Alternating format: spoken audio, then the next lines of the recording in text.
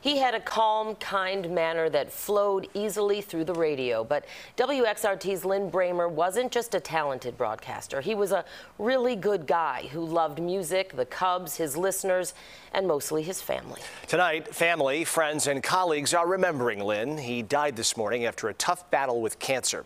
Our Jim Williams spoke with him back in November as Lin was just about to return to work during a short break in his treatment. Is that going to be therapeutic for you? Absolutely. Uh, radio has been my life, music has been my life. And whenever I've had a rough time or a joyous time, it's the music I turn to.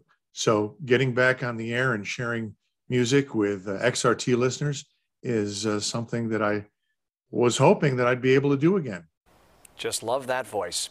Lin Brehmer bravely, bravely fought his cancer for several years.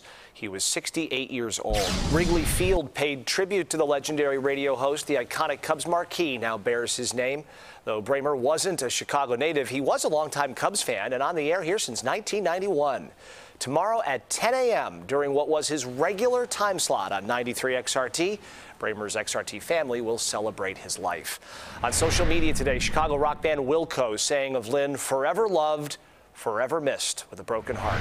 The band Los Lobos said it is with the heaviest of hearts we mourn the passing of our good pal and sixth Lobo, Lin Brehmer. We had no better friend or bigger supporter on earth. Former Chicago Mayor Rahm Emanuel says Lin Brehmer was the voice of Chicago. His voice was unique and a perfect way to start the day. An ambassador for the city's music scene and a dear friend. And the Vic Theater's message sort of speaks to how wide his net went.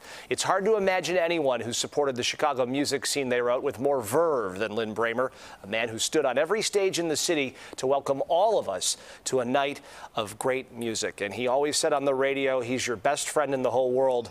But Dana, you two were friends. We were friends, and we had been friends for 25 years, and I was honored to have filled in on his show. We saw a lot of shows together and hung out afterwards, and he was just a wonderful guy.